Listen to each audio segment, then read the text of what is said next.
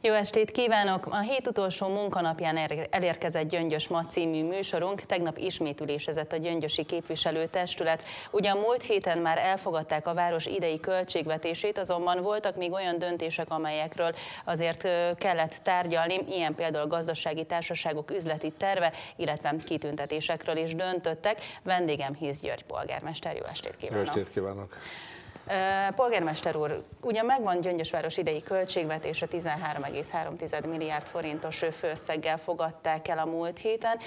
Ebben a főszámok azért már benne voltak, ami a gazdasági társaságok igényeit érintette. Viszont most azért mindegyik őjükről külön-külön tárgyaltak, és azt lehetett látni, hogy valamennyi gazdasági társaság esetében azért jócskán megemelkedtek azok a költségek, gondolom itt a gazd, ö, infláció miatt, a megemelkedett energiárak miatt. Ö, a testület hogyan fogadta ezt a megemelt összeget, hiszen azért ö, még mindig egy stabil gazdálkodást kell folytatni annak érdekében, hogy az év kivitelezhető legyen. Hát érdekes volt, mert szóval nem először tárgyalunk erről, bár a képviselők sokkal kevesebb információval rendelkeznek, hiszen mi a Városházán a pénzügyi vezetéssel, ezt meg a cégvezetőkkel mondtam azt, hogy hónapok óta tárgyaljuk. Tehát amióta tudjuk, hogy az energia árak ilyen drasztikusan megnövekedtek, azóta az előzetesen bekért adatokat, mert minden negyed évben, minden hónapban azért kérünk adatokat a cégektől, hát elborzasztó számok jöttek ki. Csak mondok egy példát, az első olvasata a Sportfólió Kft-nek, aki a sportlétesítményeket üzemelteti, első körben letett egy 726 milliós támogatási igényt, vagy ennyi, ennyivel több támogatást kér, és még az energia számla, ami gáz, villany, az olyan 426 millió. Az előző évihez képest pluszba? Hát nem, ez ennyi, ennyi ez lett volna, persze. És, és akkor hát ugyanaz a takarékossági intézkedéseket náluk is elkezdtük az ősszel a fűtési szezonban, de további intézkedések kellettek, és, és kötelezni arra a cégeket, hogy kell egy 40%-os gáztárfő megtakarítás. Tehát áramból ott vagyunk bajba, hogyha megtakarítunk, azt is ki kell fizetni. De igazából, igazából drasztikusan nagy a számla. Most, most csak azt, tudtuk, csak azt tudtuk tenni, hogy energiából a fűtési szezon végéig elvárjuk ezt a 40%-os megtakarítást, hogy legalább városi szinten átlagba kijöjjön. Áramból is remélünk megtakarítást, mert, mert lehet, hogy máshol meg majd el tudjuk használni, vagy a közbeszerzési csapatban benne levő 20 valány önkormányzatnál ki fogjuk egyenlíteni ezeket a fogyaszt, igényben ember fogyasztásokat, vagy de talántán ahogy a gáznál a központi irányítás a kormányzat beleszól, és azt mondja, hogy lehet takarékoskodni, ami logikus, és ez lett volna kívánatos. Úgyhogy már tudtuk, hogy nem lesz egyszerű a cégeknek a üzleti terve, de azért, azért mondtam, hogy meglepetés volt, mert az első pont a Városi Televízió, a média, a gyöndösi média volt a napirenden. Ott viszonylag nagy vita volt, meg sok kérdés, aztán a többinél meg volt, ahol vita nélkül. Tehát gyakorlatilag akkor már azt azt, amit megkövetelünk a többitől, azt elmondta mindenki a televíziónál, és így jött ki az, hogy na akkor milyen megtakarítást várunk, hogy nem lehet jutalmazni, hogy nem lehet beruházni, hogy fél éves munkaterveket fogadunk el, és fél évben júniusi testületéről várunk egy cégbeszámolót, hogy hogy állunk vezetői jutalmazásokra is döntöttünk, mert meghatároztuk, hogy a dolgozókat a megtartás érdekében egy béremelés végre kell hajtani a kötelező béremeléseken túl. Úgyhogy ez, ezzel együtt azt gondolom, hogy már a végén nem, nem voltak nagy viták. De a költségvetésnél érdekesen merült fel. Tehát volt képviselő, aki rácsodálkozott, hogy hogy lehet ez, hogy ennyit kér, meg annyit kér a művési ház, hogy a sportfólió, hogy a várostérségfejlesztő, pedig elmondtuk előtte, hogy a összes többletpénzt, amit kérnek ezek a cégek, azoknak a 90%-a az energiáremelés, a kötelező béremelések, plusz még amit elhatároztunk 15%-os béremelés, és az az inflációs hatás, hogy minden drágábbé vesznek. Tehát a piacon bármit megrendelnek, hozatnak, az mind, mind sokkal többe kerül. Úgyhogy ezekkel fogadtuk el, és tényleg, ahogy a költségvetésben, itt, itt is a cégeknél, ez, ez a legnagyobb gond, hogy szezon végén majd kasszát kell csinálnunk újra, hogy bejöttek azok a takarékossági intézkedések, úgy spórolta mindenki, és ez, ez tudom nagy dilemát okoz, meg nagy, hogy mondjam, ellenállás váltott ki a dolgozókba, például könyvtár, akik szeretnének dolgozni, nem akarnak bezárni, de, de a energia meg óriási energiafogyasztók, de nagyon aranyosak, lelkesek, meg hát könyvtárba is szeretnek járni az emberek, hogy akkor, hogy, hogy nem lehet bemenni, kiadják a könyvet, és hát... Egyébként itt a, a gazdasági társaságoknál nyilván itt a Városgondozási ZRT ide tartozik, aminek nagyon sokrétű az ellátási feladata, a műfáz, aki szolgáltat. Itt például ezek a szolgáltatások kell-e valamit változtatni, visszavenni, csorbulnak-e, ilyen jellegű intézkedésekre kell-e számítani? Hát kellett is, meg most is működik, tehát a sportfóriónál is működik, hogy korlátoztuk a nyitvatartásokat, tehát azok a szabadtéri pályaköltöző klubházak, ahol nem feltétlenül kell a sportélethez, azt bezártuk. Aki igénybe akarja venni az esti világítást, azt ha ki tudja fizetni, kifizetheti. A könyvtárat bezártuk, a művési központ kvázi be van zárva, csak a leszerződött előadások mennek. Csak így tudunk hathatós megtakarításokat elérni, de ezzel együtt is azt mondom, hogy az a költségvetésben múlt héten elfogadott 290 milliós tartalék jó részt majd szerintem ezt fogja szolgálni, hogy a netalántan többletenergiát ki tudjuk fizetni. Úgyhogy nem, nem egyszerű az év, és hát a, a pont a végérténél van az, ahol, ahol mi nekik nem támogatást adunk, hanem ők a szolgáltatási díjakba teszik bele ezeket az árameléseket, drágalbet a takarítás, minden, amit végeznek, sikosságmentesítés, stb. Hát most ezzel kell élnünk, reméljük, hogy, hogy ez majd évvége felé picit változhat, hiszen lejár a gáz közbeszerzésünk októbertől már új, újat fogunk, reméljük, hogy olcsóbb áron. Hát az áram sajnos vissza végig megy egész évben 11-szeres áron, hát ott, ott majd igyekszünk azért még, még takarékoskodni, vagy várjuk azt, hogy egy kedvező döntés szülessen. És akkor fél év után pedig visszakitérnek a cégekbe számolni, így van. mennyire Megnéz, Megnézzük, hogy hogy állunk a kasszával. Csak egy rövid téma, és ezt előzetesen így beszéltük is itt a műsor előtt, hogy tényleg csak két mondatban esén szó róla, hogy szóba került, hogy a 13-as házi orvosi körzetnek az orvosa fél éves határidővel felmondott. Ugye itt pont beszélgetünk arról, hogy itt a egészségügyi törvénymódosítása kapcsán az orvosok helyzete is némiképp változik, vagy a körzetelosztás. Ennek kapcsán ha fél év után nem sikerül a praxis jogot érvényesíteni, kinek a feladata lesz házi orvos találni, és mennyire lehet egyszerű annak fényében, hogy ugye az egyes házi orvosi körzetnél is voltak problémák? Hát gyakorlatilag nincs orvos. Tehát ahogy mostanában sokat foglalkozik vele a sajtó, ami nem meglepő, mert a helyzet a törvény miatt azért kicsit kaotikus. Ugye amit, amit a közvélemény is tud, a védőnőink július 1 átkerülnek a megyei kórházhoz, ők irányítják majd. A, a orvosi ügyelet teljes egészében el fog kerülni a mentőszolgálathoz. Ők a diszpécser szolgálaton keresztül irányítják, próbálnak szerződést kötni azokkal, akik most is ellátják az ügyeletet, ez vagy sikerül, vagy nem.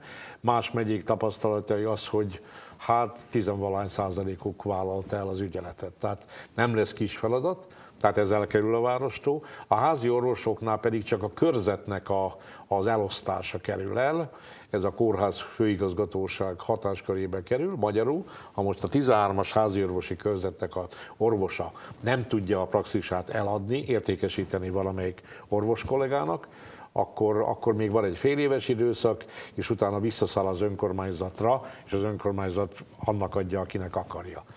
De szeretnénk, de orvos nem nagyon van, hogy az egyes körzetben se volt. Egyetlen egy eset lehet, ugye, mert a kórházakat is érinti az átszervezés, még nem tudja senki, hogy mi lesz az úgynevezett megyei centrumkórház szerepe, oda milyen szakmák kerülnek, hogy elmennek-e városi kórházból, 60-ból, Gyöngyösről bizonyos szakmák és Egerbe kell bejárnia a betegnek, vagy pedig marad így, ahogy van, nem tudjuk. Nem tudjuk, hogy a sürgősségi betegellátás egy központú lesz Egerbe, vagy marad Gyöngyösen is. Ha elviszik, katasztrófa, hiszen éjszaka nincs orvosügyelet. Tehát, és a távolságok mondjuk Mátor Szent Imréről 45 perc gyöngyös, a másik 45 perc meg Eger. Tehát addig kétszer meg lehet halni. A mentőszolgálattal dolgozunk mi is évek óta, és ragyogóan megy a munka, csak mi adjuk az orvost, és mi adunk egy nagyon tisztességes emelt óradíjat. Ezek az óradíjakat én nem látom a most kísérleti jelleggel befogott megyéknél, sokkal alacsonyabb az óradíj. Kérdés, hogy lesz-e ezért az óradíj házi orvos. Úgyhogy majd, ha ez a praxis jog visszakerül hozzánk, és nekünk kell majd biztosítani az orvost, akkor most lép be majd ez a személy, aki lehet, hogy azt fogja csinálni, hogy a mostani 16 háziorvosi körzetet megbontja, és azt mondja, hogy egy körzetet, nevezetesen mondjuk ezt a körzetet, szétosztja a többi 15 orvos között. Úgyhogy nem tudjuk még, hogy mi következik, ez, ez elkerült tőlünk. Akkor ez még nagyjából egy fél év múlva Igen. derül ki, hogy pontosan akkor mire is számíthatnak az oda tartozó betegek. Beszélhetünk kicsit könnyedebb témákról, hiszen még az előző testületi ülésen szó volt, és utána rátérünk kicsit így a kulturális részre. A kulturális támogatások rendszerén változtatott az önkormányzat. Egyrészt új szempontrendszereket vezetett be, illetve egy öttagú állandó bizottság fog dönteni. Erre miért volt szükség erre a változtatásra, illetve ha jól olvastam az előterjesztésben, illetve a, a napi rendben, hogy azokat a kulturális egyesületeket támogatják, támogatják nagyobb összeggel, akik támogatottabbak, nagyobb társadalmi támogatással bírnak nagyobb egyesületek.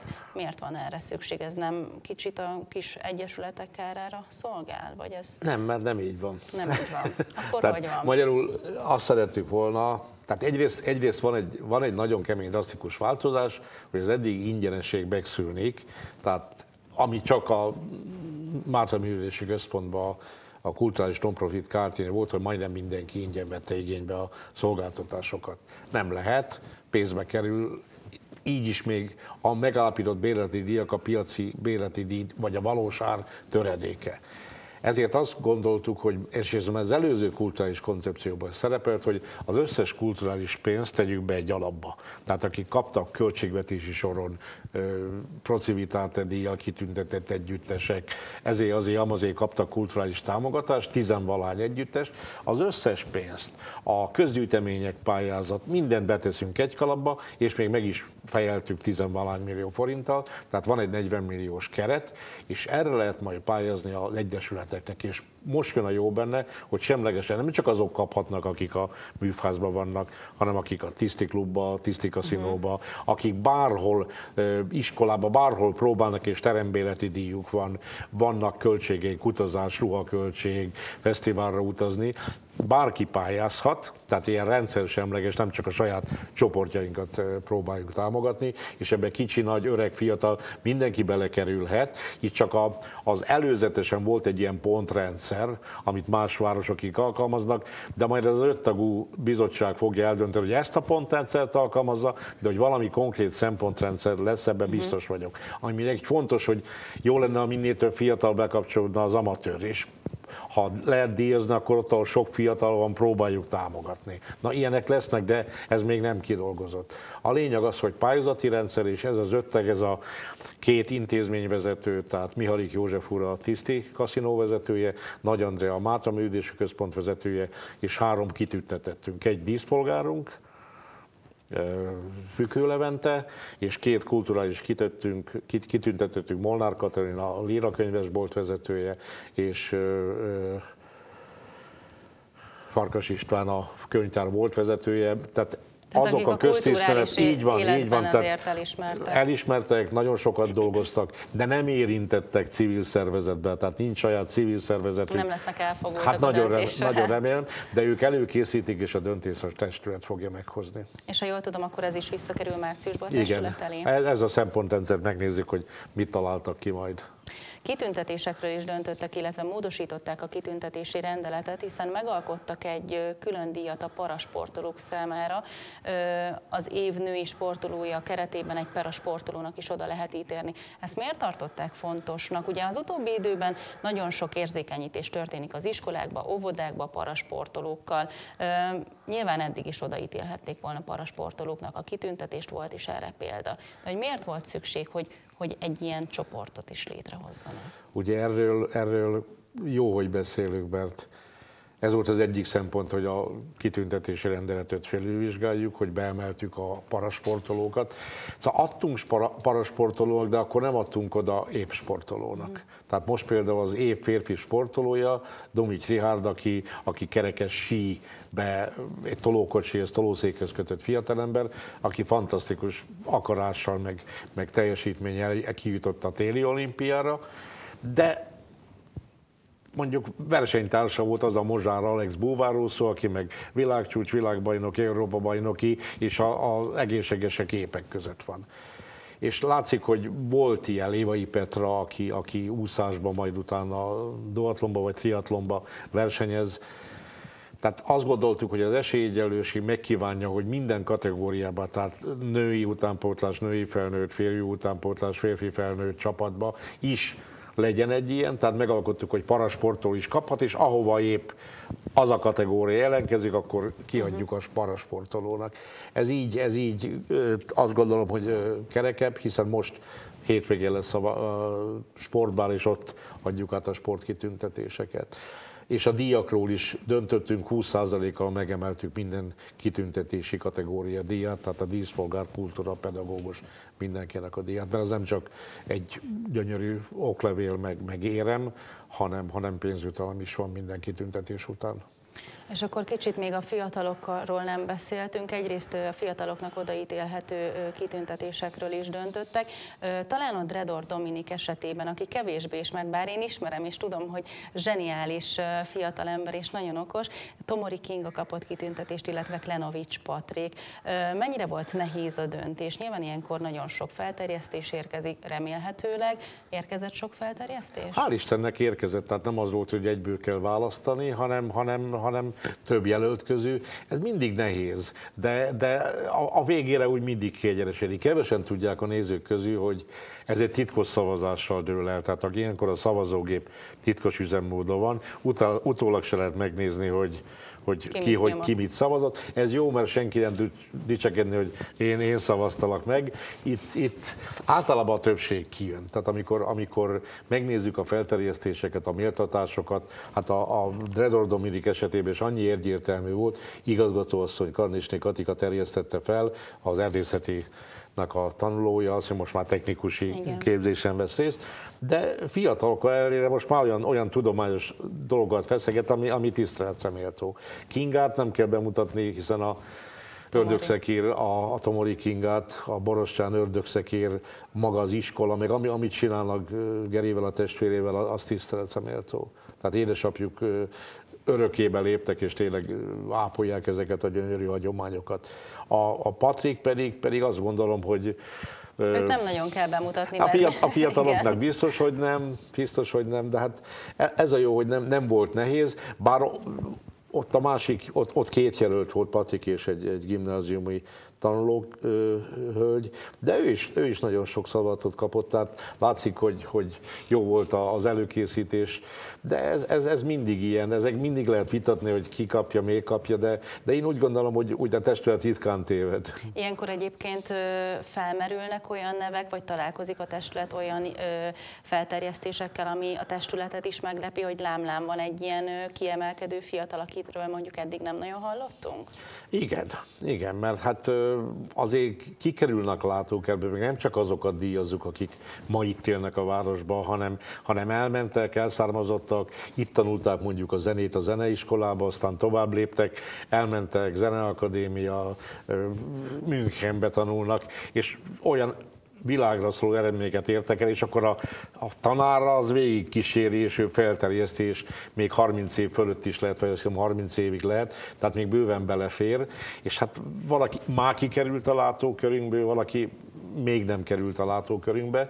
Vita persze mindig lesz, mert mindig lehet azt mondani, hogy őt, és és tavaly is volt olyan kitüntetett, hogy, hogy az egyik gimnázium oktató nem kapta meg, pedig azt mondom, hogy szívem szerint csak ő kaphatta volna meg. De hát ezeket ilyenkor szoktam én azt csinálni, hogy előző évek kitüntetései listáját átnézem a felterjesztéseket, és ha kimaradt olyan nagyon arra érdemes, vagy azóta még többet dolgozó gyöngyösi bármilyen szakmában, kulturális sporterületen dolgozó, azt így testület elé viszem, hogy próbáljuk meg, hát ha és gyakran szokott sikerülni.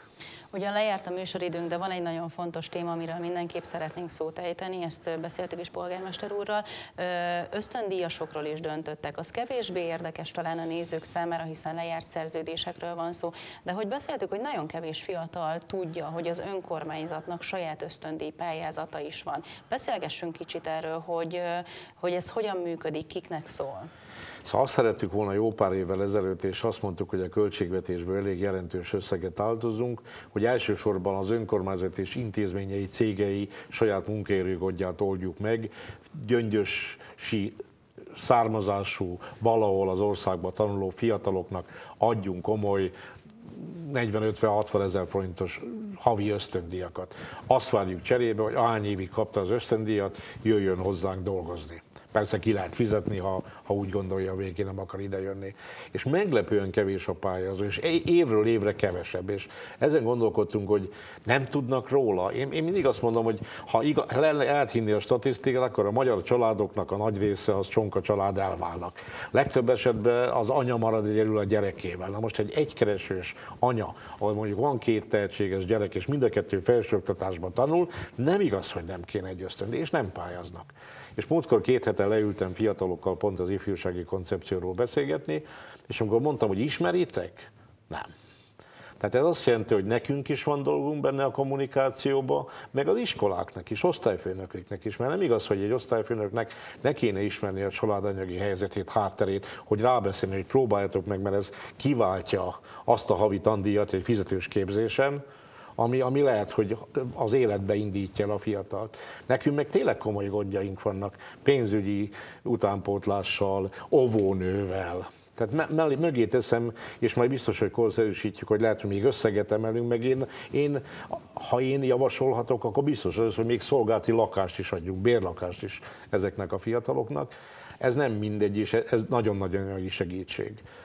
Reméljük, hogy valamit majd tudunk javítani, de be biztos, hogy a, a kommunikációból hogy nekünk is nagyot kell lépni. Akkor mi is majd még beszélgetünk erről az ösztöndíj pályázatról. Polgármester úr, köszönöm szépen, hogy itt volt velünk. Köszönöm én is a lehetőséget.